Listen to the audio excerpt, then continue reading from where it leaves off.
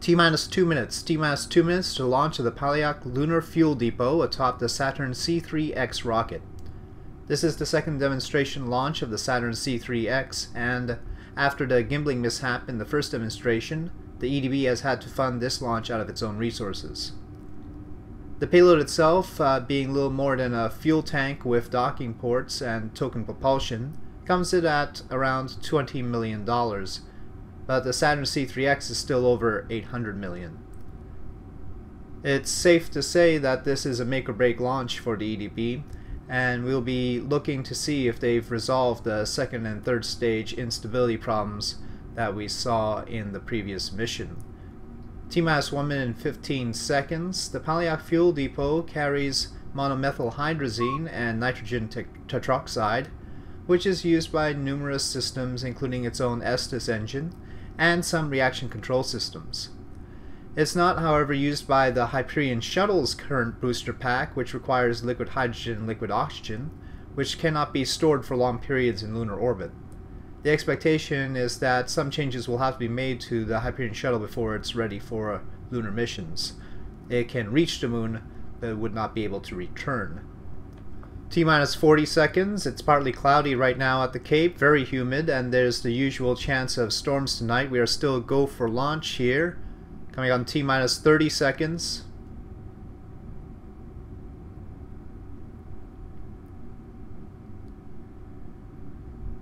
T minus 20. T minus 15, 14, 13, 12, 11, 10, nine, eight, seven, six, five, four, three, two, one, zero. And liftoff. We have liftoff of the Saturn C3X bearing the Paaliaq Fuel Depot to lunar orbit. All systems are nominal. Propulsion is looking good. Stability is looking good.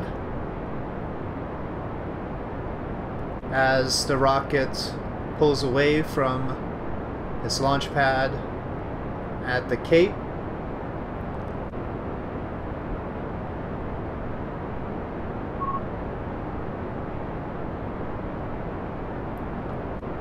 T plus 40 seconds. Altitude is 2,345 meters. Speed is 140 meters per second.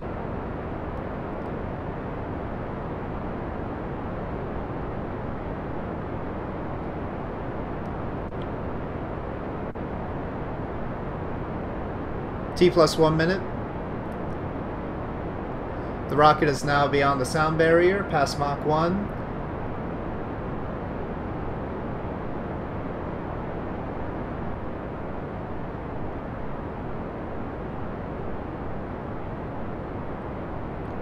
One minute 25 seconds, altitude 12 kilometers, speed 440 meters per second.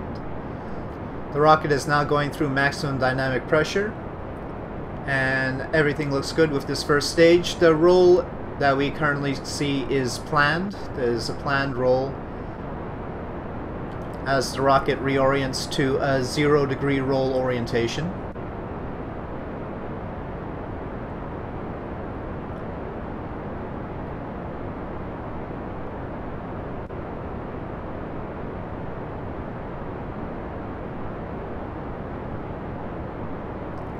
T plus 2 minutes. Rocket is now at 36 kilometers, 1,055 meters per second, 19 kilometers downrange.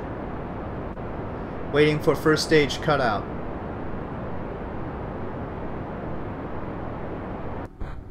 First stage is out. First stage separation is good.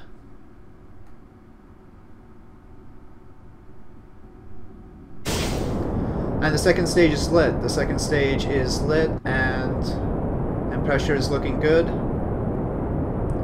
The Saturn C3X continues on its way to orbit. Checking out stability here as we've passed uh, 2 minutes and 45 seconds, 76 kilometers altitude, 1,600 meters per second, 67 kilometers downrange. So far stability does not seem to be much of an issue, but we'll have to wait to see during the region of maximum acceleration close to the end of the burn. 3 minutes and 10 seconds into launch, the rocket is now at 120 kilometers, 1,980 meters per second, and 153 kilometers downrange.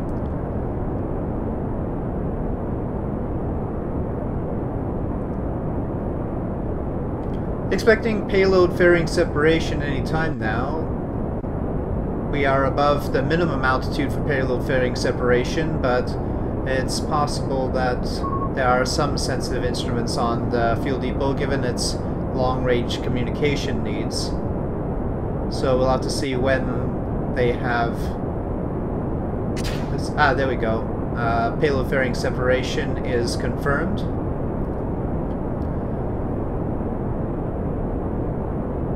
T plus 4 minutes. T plus 4 minutes, and we are at 144 kilometers, 2,322 meters per second, and 219 kilometers downrange.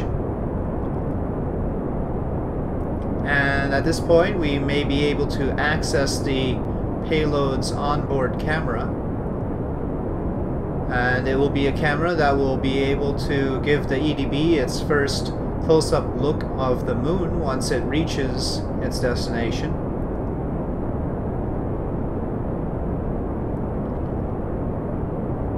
So far, no word of uh, connectivity to that camera. The main antenna on the payload is being extended.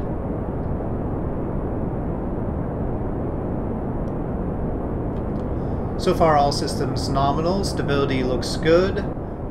And here we have a simulated view as we try and transfer to the onboard camera of the payload.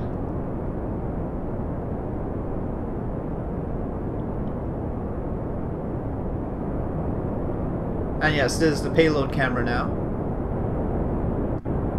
Uh, just cut out of that though, unfortunately. Here it is back again.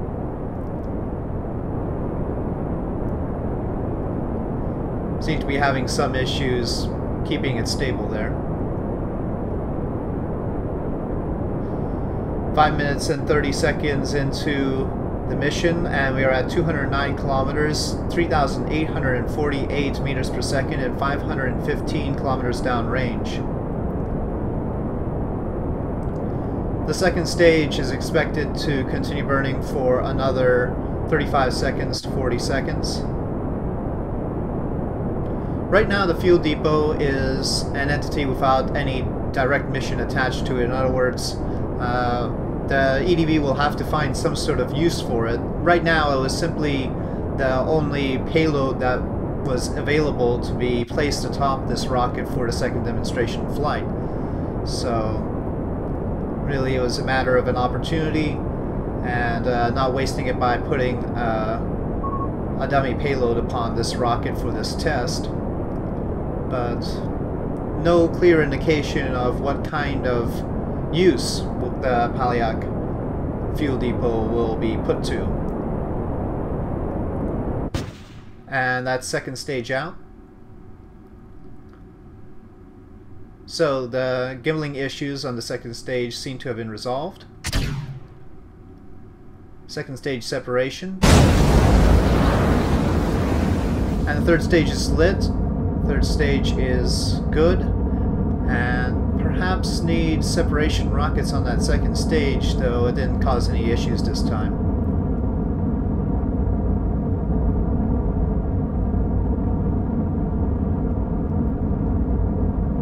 Third stage burn is stable as we pull away from the from the coast of North America here. Rocket making its way across the Atlantic.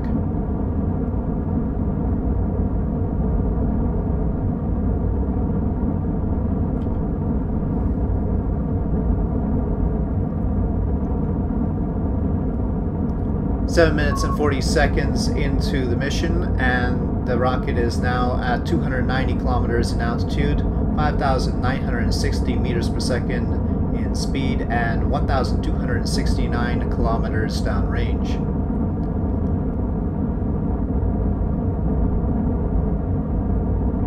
Uh, now it seems like we've got uh, real control over the onboard camera. That's good. We'll get some better views. Uh, the truss-like thing you see in front there is, in fact, the, the main antenna for the module.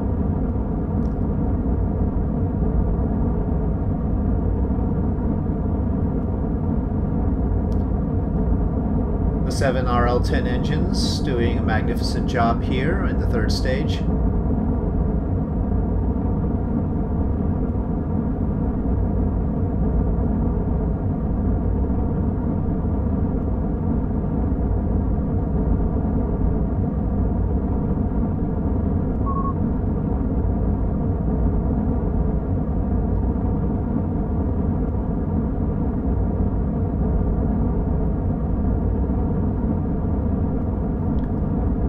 Nine minutes in, we are at 318 kilometers in altitude, 6,460 meters per second in speed, and 1,792 kilometers downrange. We are growing ever closer to orbital velocity here. And we will obviously expect the third stage to be shut down. The third stage will have to reserve enough fuel for the lunar transfer and the payload, the Paaliaq Fuel Depot, is right at the limit for this this launcher in terms of lunar transfers. So it'll be a close call on the third stage whether it has enough fuel. If not, of course, the the fuel depot's own engine can push it the rest of the way. It's got something like uh, 6,000 delta V in its tank. Incidentally, its tank is not full it has uh, spare capacity so that when it is refueled, it will have even more fuel than it's carrying up right now. And that's the third stage out. The third stage is out. Uh, however, we're reading...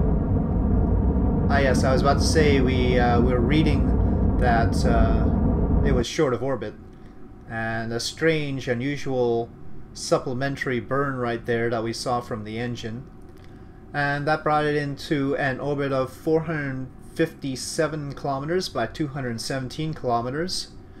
The vehicle is now at 344 kilometers, 7,269 meters per second, and 2,905 kilometers downrange.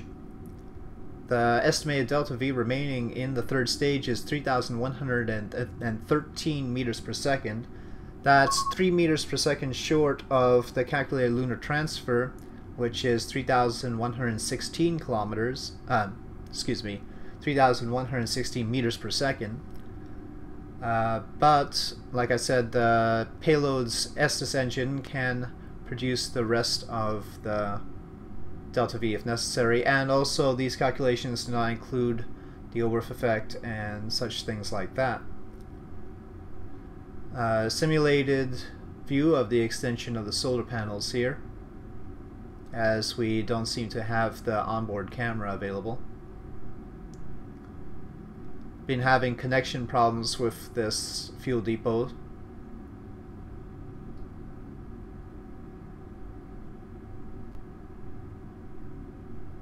And so it continues on to its translunar injection point, and we will catch up with it once it reaches that point. Uh, it is expected to do that at uh, one hour and four minutes into the mission. There is expected to be a loss of electric charge on the dark side of Earth.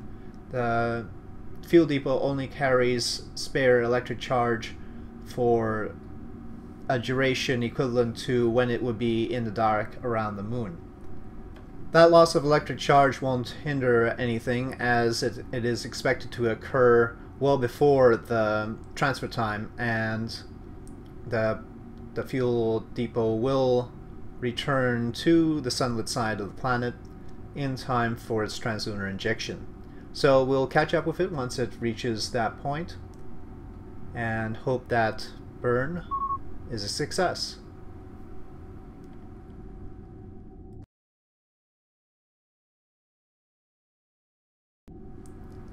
Here we are with an update on the Paaliaq Fuel Depot. Uh, it was not able to make its lunar transfer on its first orbit due to a lack of uh, communication with the satellite constellation. Remember that the Sputnik 4X satellite constellation has gaps in it. It was a partial success only. And so it is making its transfer on the second orbit around Earth. And this is T plus 2 hours and 23 minutes. Connection is good.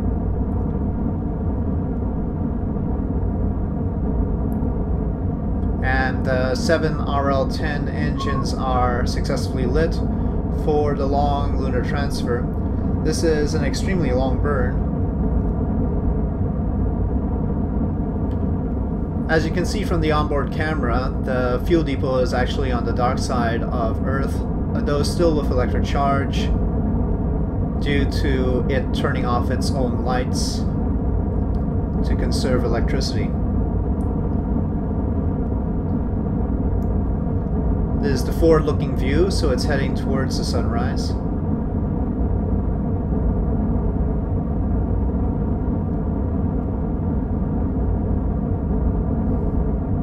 It's worth discussing at this point, one of the fuel depot's supplementary functions is to to detect kethane on the moon. It has a kethane detector, which means that the fuel depot will have to be placed in orbit below 250 kilometers around the moon in order to do its uh, detection. That was part of the reason why it has the large solar panels.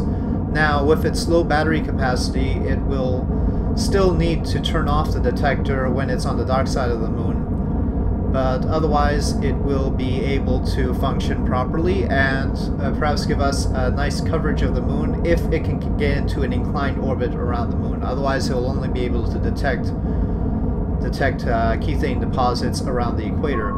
The expectation is that we'll be in a somewhat inclined orbit, uh, one that uh, will facilitate uh, lunar missions, lunar landings, uh, without uh, being so inclined that ascent vehicles will have trouble docking to it. So that is the current plan, and the plan going forward for the EDB is to make use of lunar kethane deposits in order to conduct any sort of lunar mission. Carrying the entire fuel load from Earth to the Moon is uh, deemed not uh, financially feasible at this time.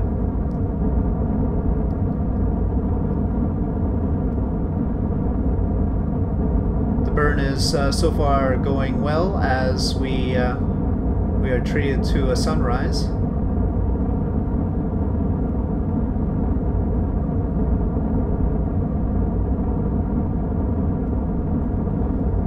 To facilitate refueling needs, the fuel depot actually has four different sizes of docking ports. It's got a Clamp-O-Tron Senior, uh, Clamp-O-Tron Junior, uh, the standard Clamp-O-Tron docking port, as well as a 2 meter Clamp-O-Tron docking port large. All of these were found lying by the side of the road. Possibly near the Clamp-O-Tron factory.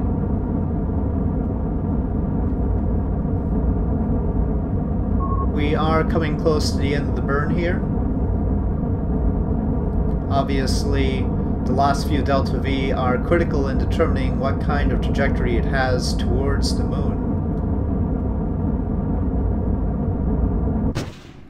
And uh, we see here, this is a characteristic issue with uh, Smart ASS when it is in node mode and the node is fulfilled, um, we expect to restore stability momentarily.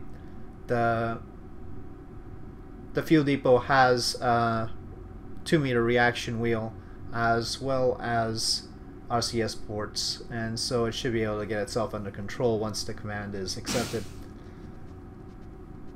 But uh, we're reading now that the burn was went for a little bit too long and so the Estes engine on the fuel depot itself will have to make a correction burn. It uh, it overburned a little bit, and so we'll expect to see a correction burn coming up. For now, uh, the next stage is to separate the payload from the third stage, and we're going to see if we can watch that happen. Mission Control is dropping the solar panels so we get a proper view of that.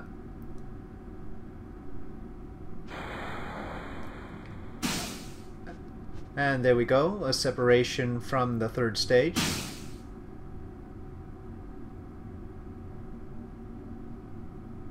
The third stage did manage to conduct uh, translunar injection successfully. It had the delta V, it uh, simply overburned. So So at least the payload to translunar injection seems to be fulfilled. We've got a good number on that.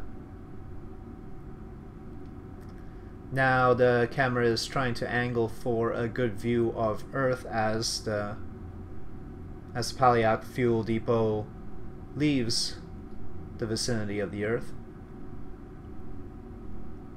And we should get plenty of good views of our home planet thanks to that. There's a simulated view of the fuel depot as it's separated from the third stage. Currently flying over Australia. We'll come back to you with the correction burn.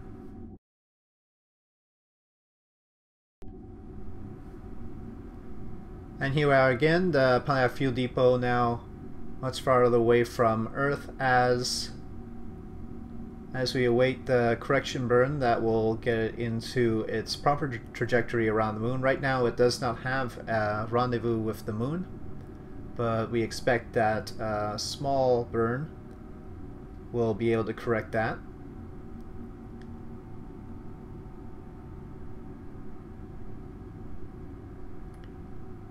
Not entirely sure why the lights are going out here.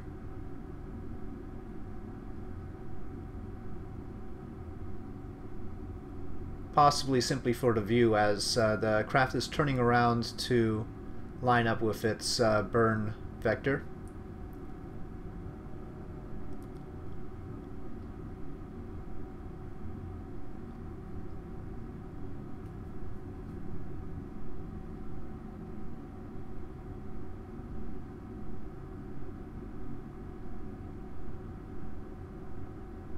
Yes, I think uh, most of these maneuvers are simply uh, to give us a better view of Earth. We'll come back to you once Jeb has sorted this out and figured it's alright to start the correction burn. I think he's... He's probably commanding this from Titan Station and messing around a bit.